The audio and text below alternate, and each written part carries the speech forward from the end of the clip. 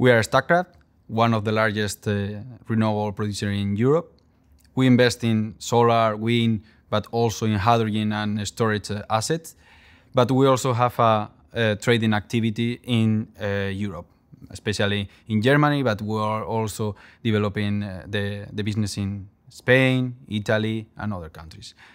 In these activities, we develop our own models for pricing, but we use external uh, tools like Pexaquote to calibrate our models.